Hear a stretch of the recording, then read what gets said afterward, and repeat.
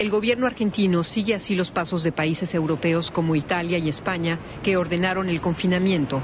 Hasta ahora en Latinoamérica solo Venezuela había decretado la cuarentena.